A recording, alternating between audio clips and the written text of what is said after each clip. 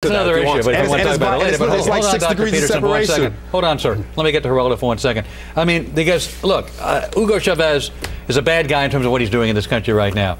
Danny Glover has a relationship with him. Maybe Danny Glover, given the opportunity, would speak out against us shutting down the media. But now you want to pin that on John Edwards because John Edwards has Danny Glover supporting him. You know and this why? is the game. John Edwards game is the, is the senator here. and the candidate who said he wouldn't appear on Fox News Thank because you. he Yeah. didn't like the bias of Fox News. He's a Yeah. First Amendment kind of guy, and he's Yeah. making choices on Right, he's making a mistake not to appear on Fox News. We can all agree on that. And- but you want to go after him because he happens no, to have Danny Glover both of these supporting him? guys who represent the left of the spectrum, which God bless them, let them represent it, Yeah. are hypocrites. You have Danny Glover taking money from a guy who may not be a dictator, but he is cracking What does down. it have to do everyone with John Edwards? Freedom of the press. But uh, John Edwards is now also censoring freedom of the press in his own way. Wait a minute. That's not, wait, wait, wait, wait, wait, wait a second. No, hold on. Wait, wait, wait a second. Hold on, sir. Hold on, Mr. Dr. Peterson. That's not censorship because John Edwards wrongly makes a decision not to come on Fox News. He's not being censored. But no one's what he does is him. he takes the whole of the Democrats and they say, okay, they can't be on the right wing organ. Right, You have that's uh, wrong, Danny but it's Glover, not censorship. the so-called- Don't toss around Yeah, the word censorship. no, That's wrong use of the word. But why isn't it effective censorship? Isn't Because it who's you are censor- who- who's depriving being the censored? audience Can of we Fox please stay News focused on the issue? the right to see Chavez the Wait a minute. Down the Wait, TV wait, that's not cens- censorship has to come from the government, number one. And he's not being denied the opportunity to come on the Fox News channel. He's making the wrong I, decision mean, I, I think not to he's come making on. the That's wrong not decision,